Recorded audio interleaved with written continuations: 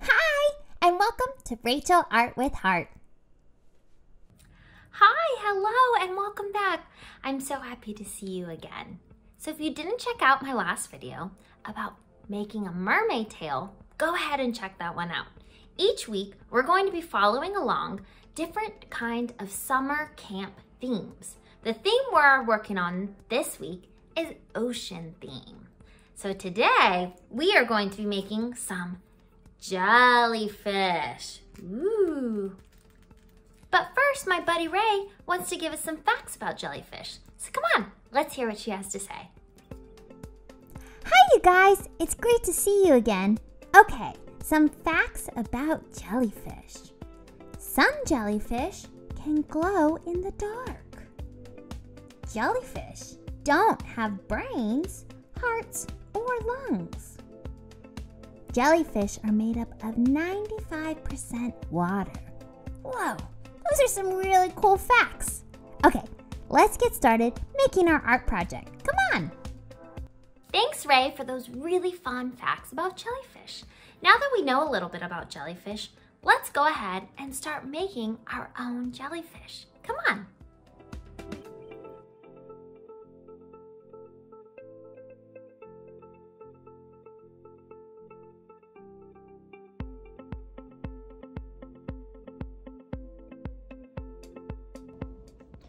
All right.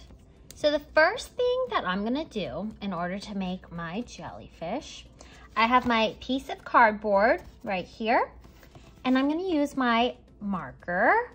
Um, if you have a pencil or a pen, that works too. I'm gonna simply draw a half circle, okay? So I'm gonna start right here, and notice that I'm gonna kind of leave my hand in one place. And I'm gonna carefully draw, and maybe I'll turn this this way, carefully draw.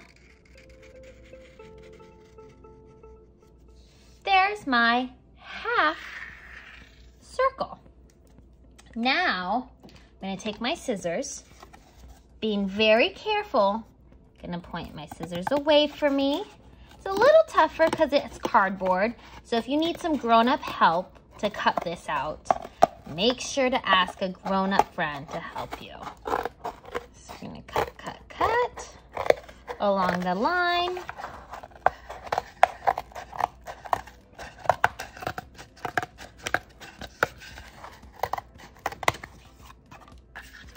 Just like that. Some pieces, there we go.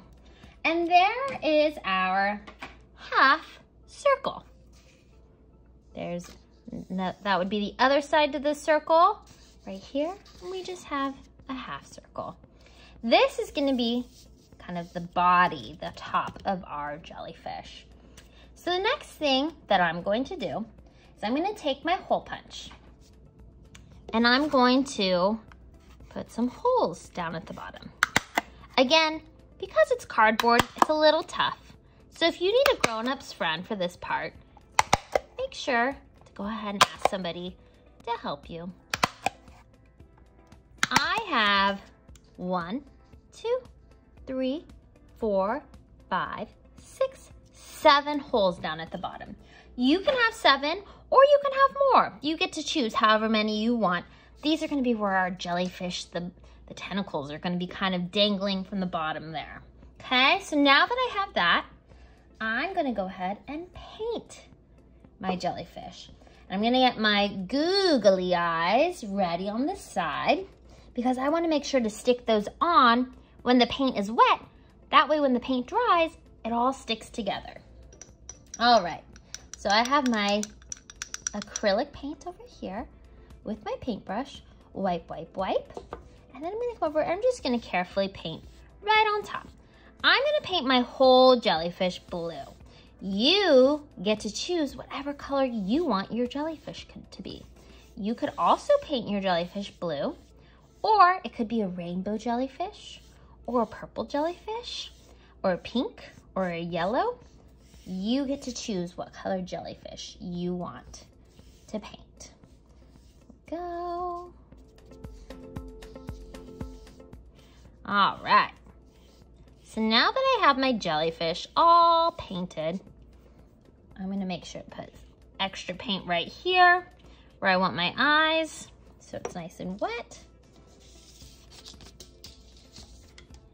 Gonna stick one eye right there. Okay, so now that my jellyfish is kind of dry, my eyes seem to be sticking to the paint, the extra paint that I put on there. If your eyes are not sticking and fall off, you can simply just add some glue on the back, but with enough paint behind it, it should dry and have it stick on there. Okay, now we're gonna do our little tentacles, do do do, hanging. I have my yarn over here, and I'm gonna kind of measure out, maybe about yay big. I'm going to wrap like this, back and forth, because I'm going to cut right along here. That way my tentacles are all about the same size. I'm probably gonna have to cut more, but I'm just gonna start with these. So I have some right here. I'm just gonna simply my yarn through the hole.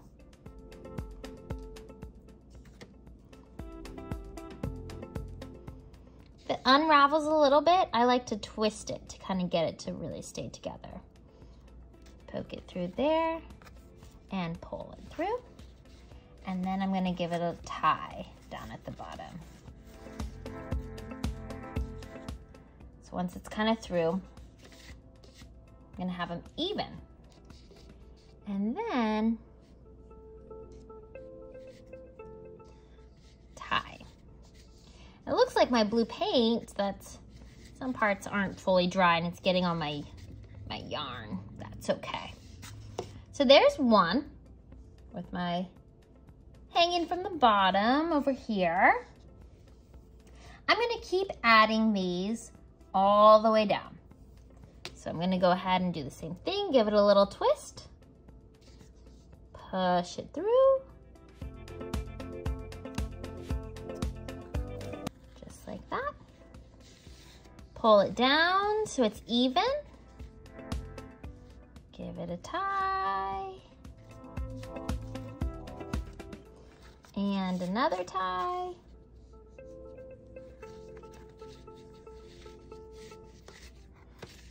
Go. Now I'm gonna keep doing that all the way down. So then my jellyfish will have its tentacles hanging. If you want some of your pieces to be long and some shorter, all you'll have to do is when you're cutting your yarn piece, make sure you cut it so it's a little bit longer. Do the same thing, twist, twist, twist. Push this through the back.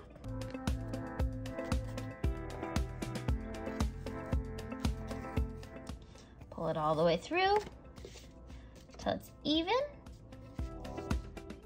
Go ahead and tie and tie again. If the tying part is a little hard for you, you can go ahead and ask a grown-up friend to help you with that part. All right. So I'm gonna keep on adding yarn pieces at the bottom. You can, if you want to, you can layer some. Maybe you wanna add some more there. You can just put one through each of these. It's completely up to you as the artist. Okay, I'm gonna go ahead and start finishing mine. You can go ahead and do the same.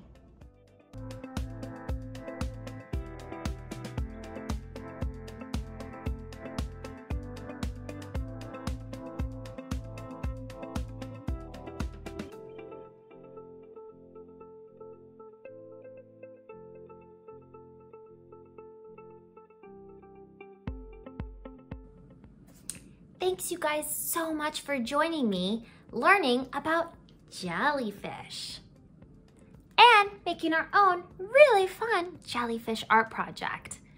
Thanks so much for joining. Don't forget to like this video, subscribe, because next week we're going to be learning about 4th of July. We're gonna be making some really fun 4th of July art projects.